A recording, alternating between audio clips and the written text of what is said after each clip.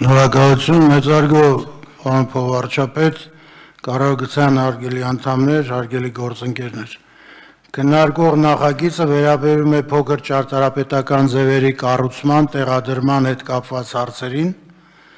Հայաստանի Հանրապետության տարածքում կանոնակարգված չէ նման օբյեկտների տեղադրման գործընթացը։ Իսկ թույլտվությունների տրամադրման կարգը սահմանող 596 որոշման մեջ հստակված չէ այդ օբյեկտների շինարարության կամ տեղադրման համար անհրաժեշտ թույլտվությունների ընթացակարգն ու դրանց ներկայացող պահանջները։ Դրա հետևանքով հանրապետության ողջ տարածքում առանց որևէ ընթացակարգերի եւ լիազոր մարմինների համաձայնությունների իրականացվում են հուշակարերի, խաչքարերի, խաչերի եւ ճարտարապետական փոքր այլ ձևերի տեղադրման աշխատանքներ։ Արդյունքում խախտվում են ինչպես հատուկ պահպանվող եւ քաղաքաշինական գործնեության հատուկ կարգավորման գոտիների պահպանման կարգերը, այնպես էլ քաղաքաշինական գեղագիտական եւ անվտանգային կանոնները։ Գոյություն ունեցող անկանոն վիճակը կարգավորելու նպատակով նախագծով առաջարկում է թույլտվությունների տրամադրման կարգը սահմանող կառավարության 2015 թվականի 596-ն որոշման մեջ կատարել լրացում եւ այդ ճարտարապետական փոքր ձևերի համար, ինչպես ինչպիսիք են հուշակարերը, հուշարխբյուրները, խաչերը, խաչքարերը եւ այլն սահմանել ռիսկայնության աստիճան, կանոնակարգել աշխատանքների ընթացքը, ապահովել պետական լիազոր մարմինների հետ համապատասխան համաձայնությունների ընթացակարգը։ Եվ այսպես 596 որոշման մեջ լրացում կատարելով հուշակարերի, հուշաղբյուրների, խաչերի, խաչքարերի շինարարության տեղադրման իրականացման նպատակով սահմանվում է ռիսկայնության աստիճան,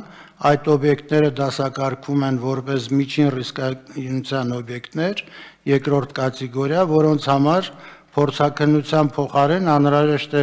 իրականացնել նախագծողի երաշխավորագիր ունենալ նախագծողի երաշխավորագիրը կանոնակարգվում են աշխատանքները եւ ռիսկայնության աստիճանի սահմանման դեպքում այդ օբյեկտների նկատմամբ կիրառվում են կիրառելի են դառնում քաղաքաշինության բնագավառի օրենսդրությամբ սահմանված սահմանող պահանջները եւ ընթացակարգերը կգործեն նաև պետական լիազոր մարմնի հետ մարմինների հետ համաձայնությունների ընթացակարգ, քաղաքաշինական գործունեության հատուկ կարգավորման օբյեկտների տարածներում, այդ թվում միջպետական, հանրապետական ճանապարհների համար համապատասխանաբար 70 եւ 50 մետր գոտիներում, տեղական նշանակության ավտոճանապարհների համար 30 մետր գոտիներում, հատուկ նշանակության եւ հատուկ պահպանման հողերում ինչպես նաև բնության մեջ երբ տեղադրվող կառուցող օբյեկտի բարձրությունը գերազանցում է 2.4 մետրը, անհրաժեշտ է նախագծային փաստաթղթերի մշակման փուլում առաջարկվող լուծումները նախապես համաձայնեցնել քաղաքաշինության բնագավառի լիազոր մարմնի հետ, որը իր հերթին կհամաձայնեցվի հատուկ գոտիների համար պաշտպանական ազգային անվտանգության, ոստիկանության, ճանապարհային մշակույթի շրջակա ոլորտի լիազոր մարմինների հետ։ Զուգահեռաբար, պարոն փոխվարչապետ, մշակվել է նաև առաջիկայում կառավարության քննարկմանը կներկայացվի վարչական իրավախախտումների մասին օրենսգրքում խստացումների վերաբերյալ որոշակի առաջարկությունների փաթեթ, նաև 2404 որոշման մեջ լրացումներ կատարելով ինչ վերաբերվում է արդեն արկա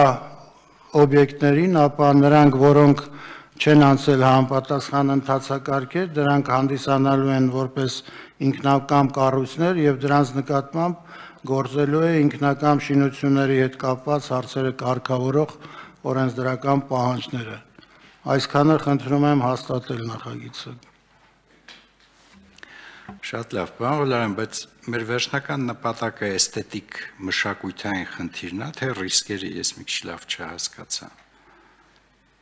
Այդպես մասը որ խնդրեմ կբարձաբանեք։ Պարոն փոխվարչապետ, կարելի ասել, որ դրանք շահկապված են մեկը մյուսի հետ Առաջին հերթին իհարկե ռիսկերից Չէ, բայց բոլոր գեշ բաները չեն, որ ռիսկային են եւ բոլոր գեղեցիկ բաները չեն, որ ոչ ռիսկային են այդ Այո, իմաստով։ ճիշտ է։ Դրա համար այդ ընթացա- ընթացակարգերով սահմանվում է, որ պետք է լինի ճարտարապետահատակցային առաջադրանք, համայնքը պետք է տրամադրի նախագիծ պետք է լինի, որից հետո ընթացակարգով պետք է շարունակվի եւ այդ համաձայնությունների նպատակը նա է, որ այդ այնինչ որ այսօր գոյություն ունի, կանոնակարգվի, հստակեցվի եւ որը շատ մեծ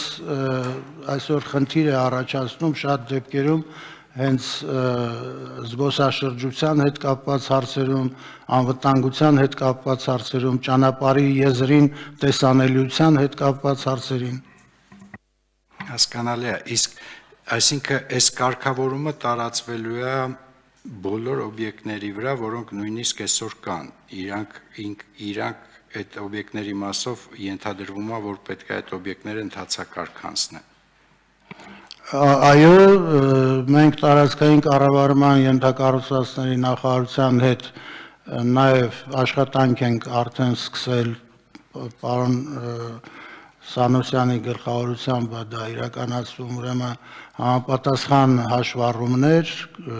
ուսումնասիրություններ, որից հետո արդեն կորոշվի թե որը ինչ ընթացակարգ է ստանալու։ Շատ լավ, շնորհակալություն։